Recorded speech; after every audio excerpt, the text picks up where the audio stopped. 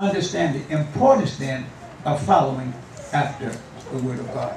All right, uh, our panelists, uh, on my left, Elder Lansing, uh, Elder Lansing Smith, Elder Ricky Smith, Elder Willis, and Elder Wagner.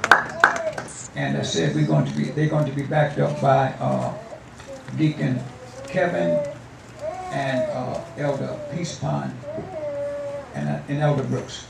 All right, well, let's start with other way.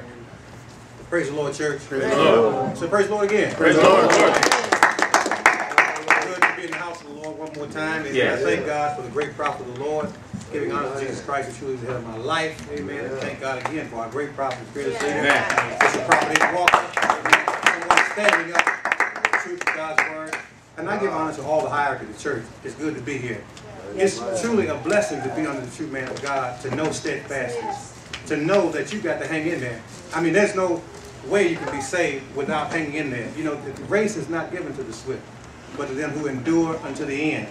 You can't endure to the end just doing everything you want to do. You've got to be obedient to the word of God. But then I found out when I came to True Light, everything I thought I knew, I had to throw that stuff away. I was going to a Baptist church, amen. I was going to uh, non-denomination, and they were doing anything they wanted to do. As long as you came in and filled the collection basket, it seemed like everything was all right.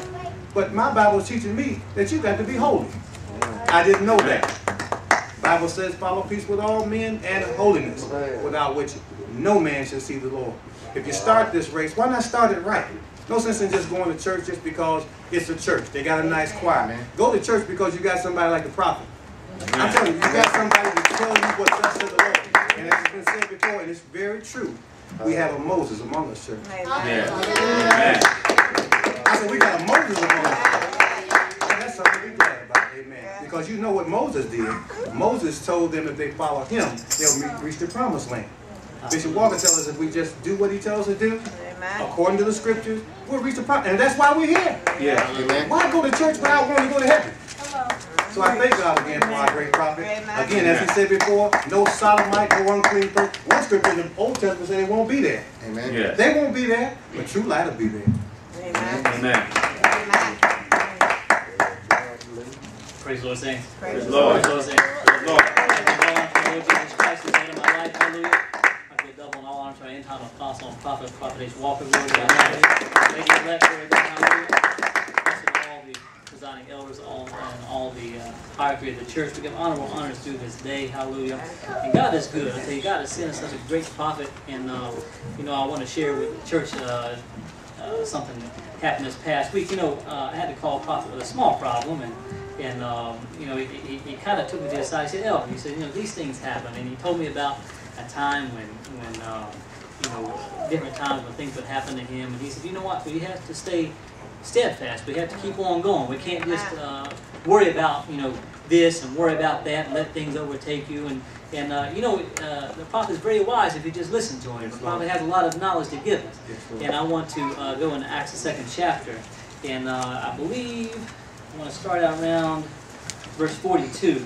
Now this is just after uh, Peter being given the authority to, to speak to the people on the day of Pentecost. And uh, he'd already given them the plan of salvation, and now he's telling them how to continue on. He said, he said they continued daily in the apostles' doctrine, continued steadfast in the, in the apostles' doctrine, and fellowship, and breaking bread, and in prayer. That they continue steadfastly in the, in the apostles' doctrine. In other words, they, they, they didn't just uh, say, well, I'm saved, and then go on down the road. No, they continued. They said, well, we're going to do this every day. We're going to keep on having church. I'm so glad we have church every day in True Light. Amen. It's not a to do it church now. They continue steadfastly. In other words, they, they, they were firm in what they were doing. They, they kept on and kept on. In other words, they didn't back down. They didn't turn. One didn't turn the other way. One didn't turn the other way. No, they all were in the unity of one spirit, steadfast in the apostles' doctrine.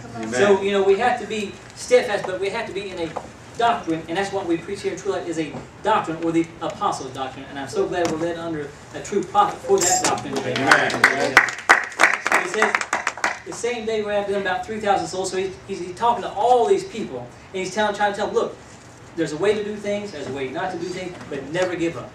Hallelujah. Amen. Say, Praise the Lord, true light. Praise the Lord. Giving on to Christ, who is my life. All honor to our great great apostle, one prophet H. Walker. Next lady, Mother Walker. Be very high to the prophet love for his work sake. Thank God for his vision of Yes. Shiloh. Yes. Going walk abundantly. Yes. Amen. Being blessed. All the preachers of the gospel, all the Harkney Church, all the visitors, and the YouTube viewers. Amen. The prophet uh, opened up and he spoke about being steadfast. And I want to go to the book of Second Thessalonians, the second chapter, right from verse 13, 15. And it says, Therefore, brethren, or church, stand fast and hold. Praise God. When you hold something, you got you have a grip, amen. You got to hold, amen. Hold the traditions which you have been taught.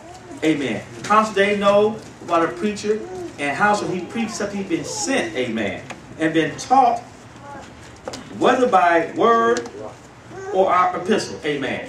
The veil covering has been taught, amen. It's a tradition from Judaism, man. We hold fast to the veil covering, amen. We hold fast to the tradition of one man and one woman being married, amen. That's a tradition of the Bible, amen. We hold fast to raising our kids in holiness, amen. Amen. Not with MTV and VH1, praise God. We holding fast to traditions of having babies, amen. We don't believe in killing babies in true light, amen. Amen. We hold fast to teaching holiness. The Bible says, without which no man shall see the Lord. Amen. Many of you, the Bible says to study. So something to prove. Many of you do not study the Word of God. Therefore, when a teaching comes with being steadfast, or when you see the daughters of Zion out and about at the Walmarts or such, with the veil coming on, you confuse that man because your pastor has not been sent by God. But our pastor, Prophet Walker, has been sent by God. Amen. How do we know? Because you line up the spiritual leader against the word of God. Amen. You have to line them up. Driving the car almost 20 years old. Amen. Not living in a mansion. Praise God. Ain't taking no medication. Amen. Amen. That's a true man of God, a true character. Married to, don't, I can't forget that. Married to one woman for 50 years, amen. Uh, let's get mother Walker. So these are some of the traditions we hold dear in true holiness, amen. And to come in out of darkness into the mountains life, first of all, we have to take on humility and then be water baptized in Jesus' name and then sit under a teacher and be taught, amen. Amen. Look, Praise the Lord, saints. Praise the Lord. Praise the Lord, hallelujah. I give all honor to Jesus Christ, who's head of my life.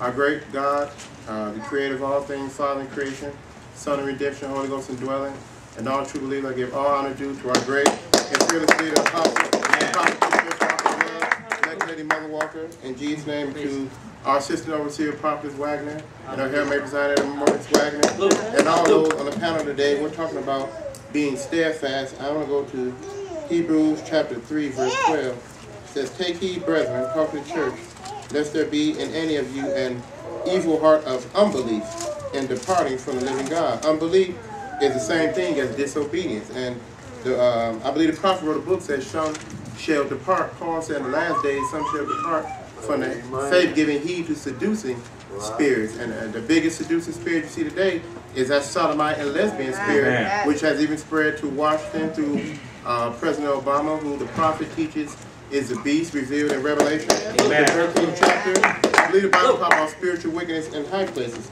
But it says, but exhort one another daily while it's called today. Today means while the church is still here, while the prophet is still here, while the Holy Ghost is still here, while the truth is still here. Once the church is gone, there's not going to be any stabilizing force for the people to turn to.